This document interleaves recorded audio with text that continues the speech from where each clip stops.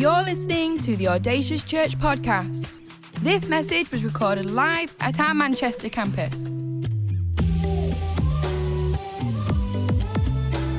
We know this is a great investment into your life, so tune in, listen up, and stay focused. For any more information, visit us online, audaciouschurch.com. We've been looking at some of the obstacles or barriers between going over to reach, help, and build with others.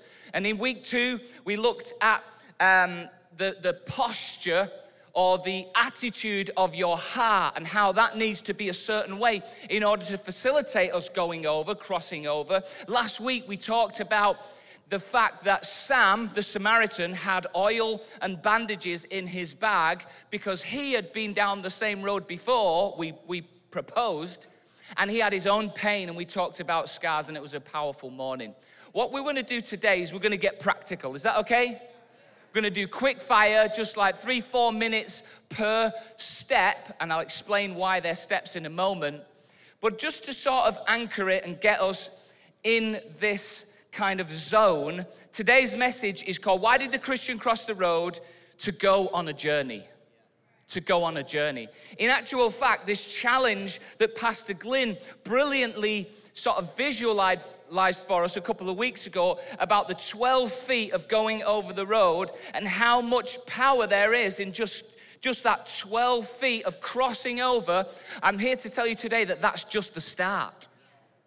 When Sam the Samaritan crossed over the road, it wasn't that he was crossing the finish line, he was actually crossing the start line. Let me read the verses to you, or the verse to you in verse 34. It says, He went to him and bandaged his wounds, pouring on oil and, oil and wine, and we looked at that last week. And then it says this Then he put the man on his own donkey and brought him to an inn and took care of him. In the Living Bible, a different translation, it puts it this way. Make sure you're focusing on these words. It says, he put the man on his own donkey and walked along beside him until they came to an inn and nursed him through the night. This message is about how we can actually do just that. Once we've crossed over the road, we've got over our sort of insecurity or our fear or whatever it is, we've, we've kind of, we've got some healing from God, we've actually crossed over. How do you actually then walk with the Bible says about Sam that he walked alongside the man on his donkey until he got to an inn. And we're gonna get practical. Is that okay? We're gonna go six steps, just a couple of minutes on each one. And these are not linear steps. The order that we deliver them to you does not mean that they're the order you have to do them in. But each of these steps are part of the journey that we have committed as a church to go on when we actually do it and cross over the road. And we've been praying for our friends and our, neighbors and things like that for the last few weeks. And you got people in your heart put there by God that you've been praying for, and maybe you've had some nervous conversations or you've had a couple of opportunities and you thought God was that, that this was the moment. Well, now we're going to get practical, okay? So the first step on how do we um, steps in the journey. I better say what's on the slide, otherwise it won't line up. Steps in the journey of reaching, helping, and building with others. And Zoe's going to do the first one.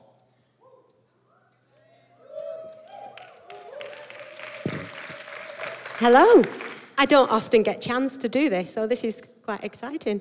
Okay, so the first step, they're not in any order, but the, my step, what I'm going to share with you, is to create space okay? We need to create space. When, when you walk with people, it is never gonna be convenient. The Good Samaritan, he must have been on his way somewhere. He must have been in a rush. Uh, well, he must have had a time he needed to be somewhere, but he didn't think about that when he saw someone who needed help. He probably, really, in his diary, in his calendar, he probably didn't have time to stop. He probably didn't have time to help this man, but that wasn't in his thinking, okay? He stopped to help, help him. And when he helped him, he didn't rush. He took his time. He spent time with the man. He cleaned his wounds, and then he walked with him, and it says that he nursed him through the night. And, and he made sure that the man was safe before he left him, okay? So it can't have been convenient for the Samaritan. So for us, it's not going to be convenient, okay? Um, I've got a little story for you about something that happened to me. As some of you might know, I, I am a runner, okay? I, I do running. I recently did the Manchester Marathon. And it was really hard, but I loved it. It was three it hours, was, 30 minutes, people. Three hours, 30 minutes. And, and, and when I was driving in here today, I was so nervous to come and do this. I thought, I think I'd rather be running the marathon today than doing this. But anyway, getting back to my story, I'm, I'm a runner, right? And so every day I will go out and I will run. And I set my watch when I set off, and it's timing me. And if you know me, I'm not a very competitive person at all. When we're playing games, I really don't care if I win or lose. But when I'm running, I really like to do it faster than I did it yesterday or faster than somebody else I know has done a similar run. So I, I, but that's the only time I'm competitive. So I really don't like anybody to stop me when I'm running, right? I, it, I do find it really annoying and really inconvenient. So if I see somebody I know, which I do quite a lot, I pretend I've not seen them, or I just wave like that. I often run past my old neighbour that I had as a child, and he, he's a lovely man. He was brilliant. So he knows that I'm not going to talk to him. So I do just wave. So one day when I was running, there's a hill. I'd not long. I'd not long left to go. I was nearly home, but there's a hill, um, and it's, it's quite a busy road, and I have to run across this hill, and it's called Garstang Avenue, right? And this is probably quite similar to the road that the, the, um, the Samaritan was on. It's, it's not a very nice road. You, you could possibly get robbed when you're on this road. So um, I was running across this road, but there was a lady on um, a mobility scooter, and she seemed to be stuck in the like the gutter, right? And she was motioning me to her. I think she was like talking to me, but I couldn't hear because I was listening to someone preaching. Um, but I could see she was motioning. I just thought, oh no. So I had to stop running, go over to this lady, and she wanted me to push her up the hill out of the gutter. And, and so I did. I did it, and I was so frustrated at having to do it. But I think if I hadn't have done it, she'd still be in the gutter trying to get. And it's a really steep hill, so it wasn't easy to get her going and get her up this hill till she was off ready. And I'm holding my thumbs up, and, and she was all right. But I'm telling you this story, right, because sometimes, even when we're doing something that's really important to us, we might have to stop. We might have to stop, pause, and just give somebody else the time and the space that we need. We may need to pause and walk with someone and just put on hold what we're doing, okay? Um, so there's a couple of really practical tips I want to give you this morning to just help with this. A thing that you can do is leave some margin in your diary. Have a little bit of space, a little bit of breathing space in your diary where you can just put help someone or, or walk time or something like that, where you can just give somebody some time to walk with because it's really, really important. You're never going to have enough time. You always, well, you can't always plan for these things. Sometimes you have to stop what you're doing and just help, like, like I did with the lady. Sometimes you might have to just do things like that, and it is inconvenient. Don't expect it to be convenient. It, it isn't going to be something that's convenient. You're never going to have enough time.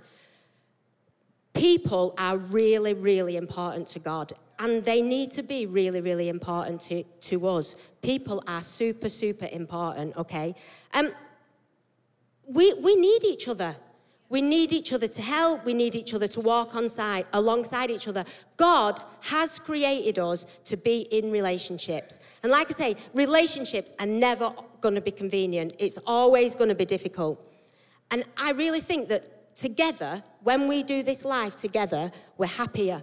I, I, personally, I've never been to Rwanda, but I know there's so many people here that have been to Rwanda. And we've seen the, the videos that they bring back showing the children, the adults, everyone's faces in Rwanda. And I don't know about you, but they look really, really happy. And to me, they seem really, really happy. And I really believe this is because they live so close in community together. They need each other. They, they do everything together. But us, we tend to do things on our own. Like I'll go doing the food shopping on my own. But if I really thought about it, I could take someone with me and spend time with someone as I do something that I need to do. Um, but in, so in Rwanda, like even the ladies, they don't go and collect the water on their own. There's a huge group from the community, and they all go together and they go and collect the water together. So I really think that this is something that um, is, makes them happier because we're better together. James 3 in the message, um, verses 17 to 18, says, Real wisdom, God's wisdom, begins with a holy life and is characterized by getting along with other, others.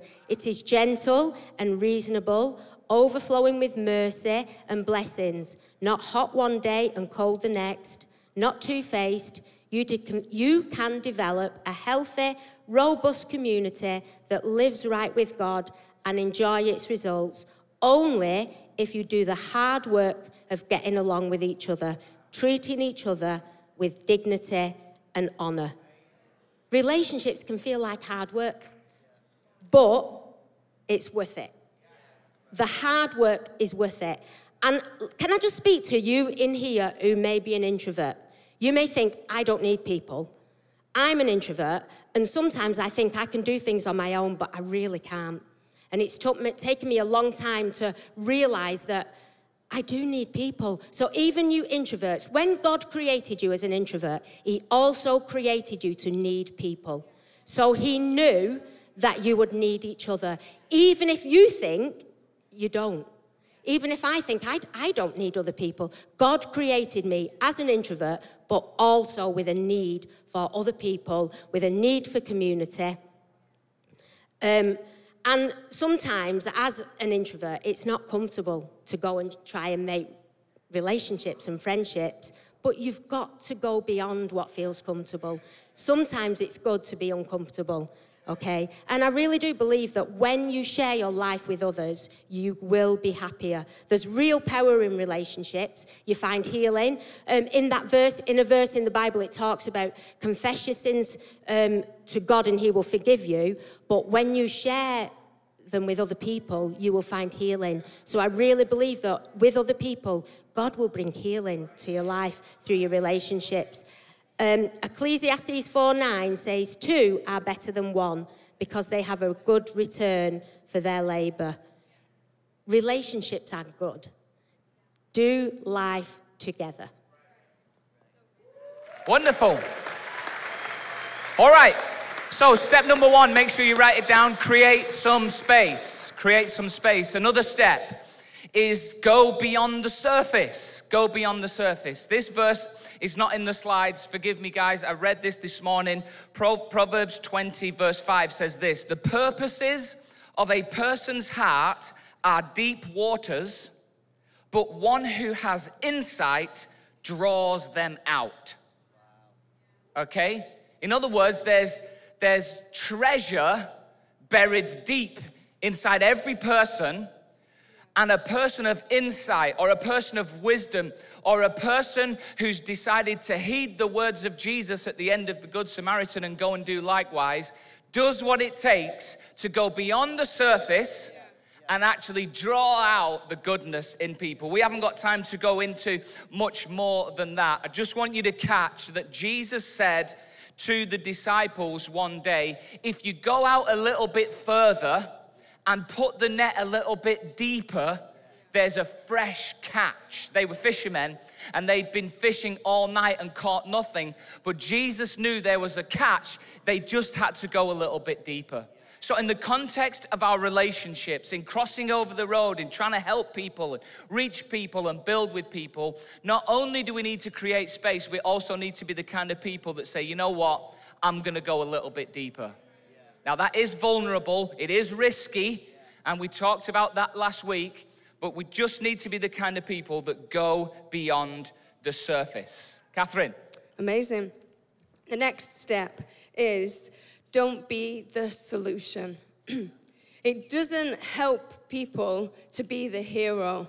You know, for, it, for us to um, ride in on our white horse with our shiny arm, shine, hang on, hang on.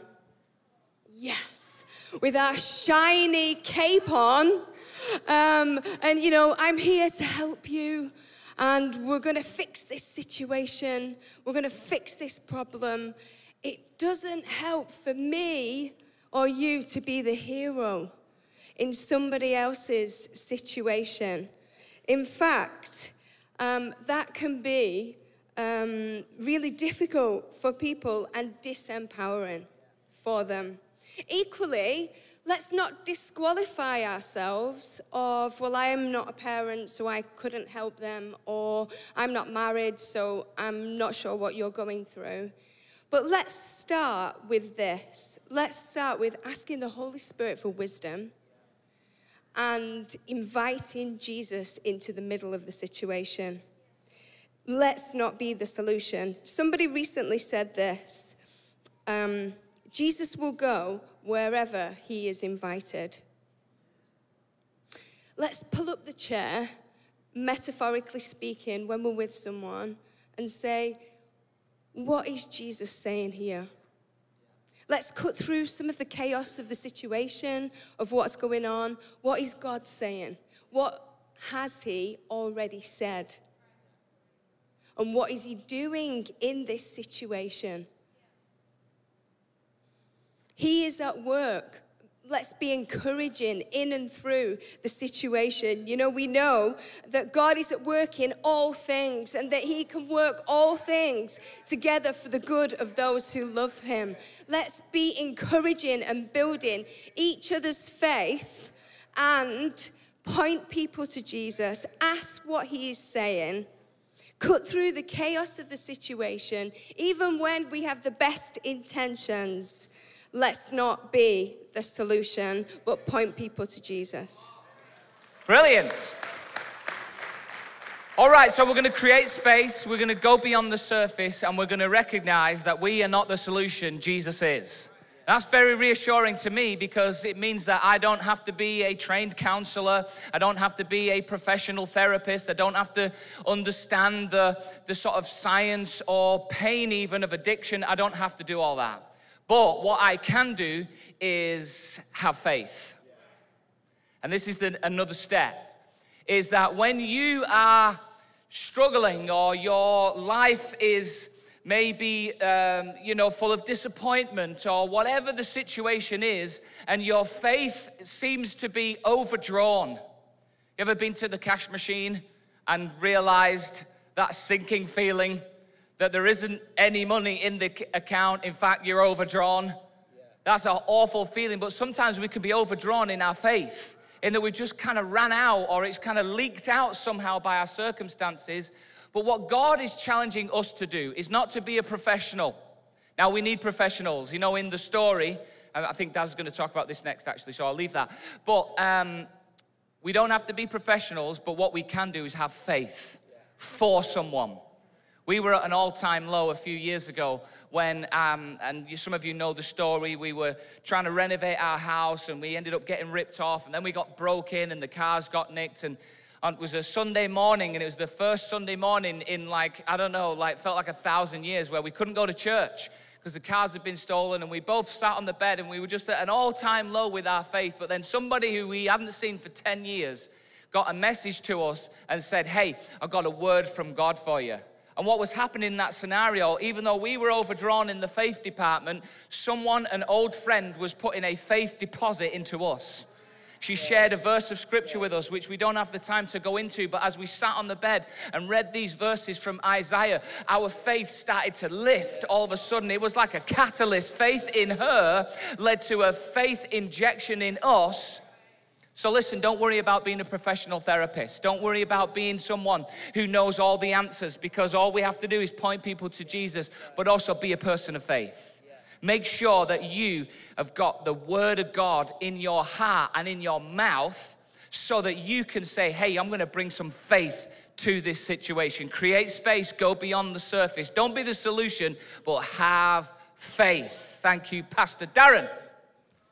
Next step is know your limits. And I love that this is included uh, in the scripture that Jesus, uh, this parable that Jesus is telling us, that um, the, the, the Samaritan takes him to the, the inn and he looks after him, but then it comes a point where he has to hand him over. He gets to his limit and he says to the innkeeper, you, you take over now and you look after him. And in the journey that we're on with friends in, in relationship and with people that we walk over the road to, there comes a point where we have to let go and say to the professionals, you look after him. You look after them. You take over now. And um, in Psalm 119, verse 96, in the Good News translation, it says this David writes this King David says this I have learned that everything has limits, but your commandment is perfect. This is King David who wrote most of the Psalms, unified the tribes of Israel, made Jerusalem the capital of the Israeli nation.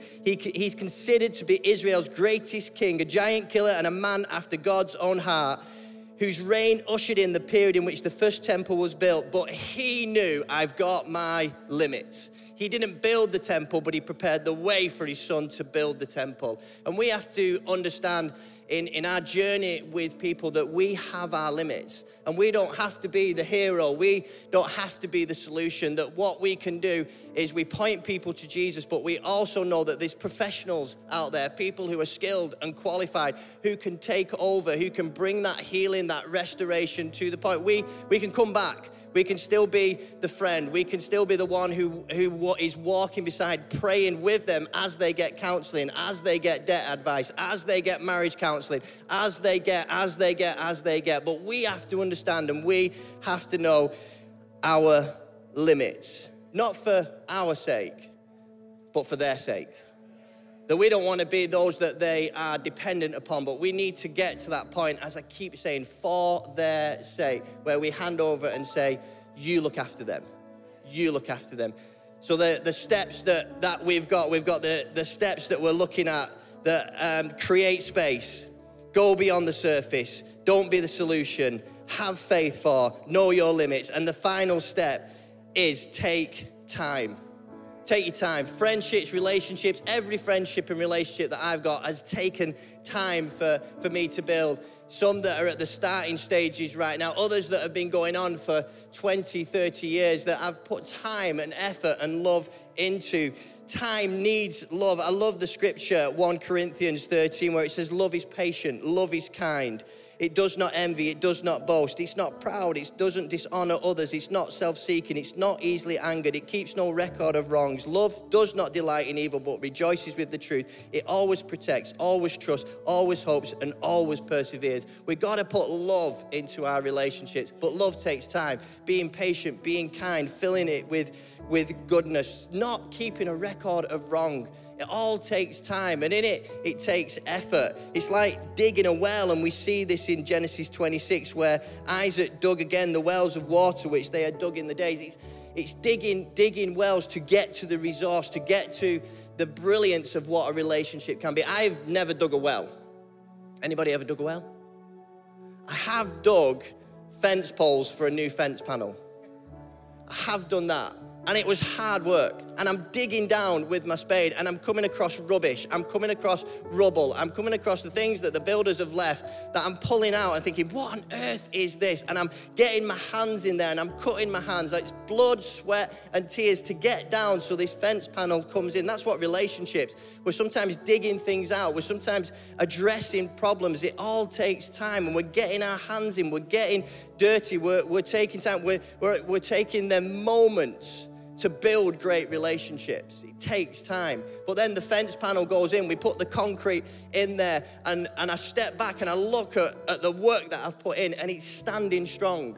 It sets, it, it gets in its place, and I put the fence panel in, and the fence is there, and I'm looking at this that I put blood, sweat, and tears into it, and it's it's standing strong, it's standing firm, and it stands against things. I give it a kick, the boys kick the football at it, the, the, the storm comes and it stands. If we want relationships that stand the test of time, we've got to put the effort in, and that's what we do.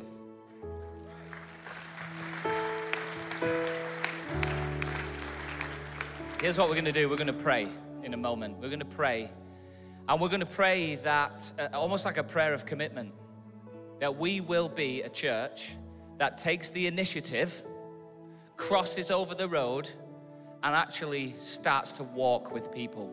And I just know that we're going to hear testimonies. That's like a Bible word for the story of, right? We're going to hear stories of people in our church be it on be it on New Year's Eve. Remember New Year's Eve last year? It was absolutely crazy. There's going to be people in our church on New Year's Eve, and their story is going to involve someone in this room who crossed over. Someone who said, "Hey, how are you doing? Let me talk to you about this, or let, tell me about your family, or whatever it might be." And we actually started a journey with people that ended with, or or maybe took them to the start of their journey of the transformational work of Jesus Christ. Zoe touched on it already when she was talking about our friends in Rwanda. We kind of, she used that illustration because of our church, our church friends there, and we've just come back from mission there. But it highlights to me that in Western society, we actually wait to be invited. It's kind of part of our sort of way of thinking that we wait to be invited. And the reason why we've got a chimney and some garden chairs on the platform this morning is because I wanted to show you that all you need to start this journey with a person is a back garden. Now, maybe you're thinking, well, I don't have one. I live in an apartment, which is an American word for a flat. But I could equally, as well as a chimney, I could put up on here a great big toaster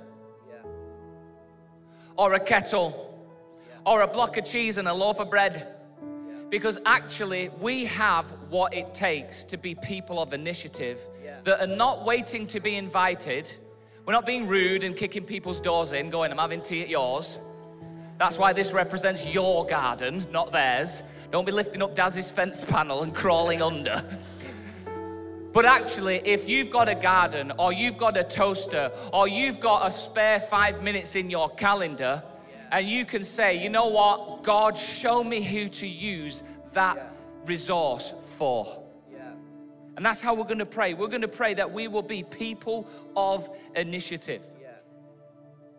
Before we do that, and this is a bit of an unusual way to sort of land a message, which has in itself been unusual anyway. You know, at this point in the service, we might do a worship song or we might pray for people, and we are going to pray. Thank you for listening to this Audacious podcast. For any more information, visit us online, audaciouschurch.com. We'd love for you to join us at one of our campuses Manchester, Chester, or online every Sunday, 10am and 12pm.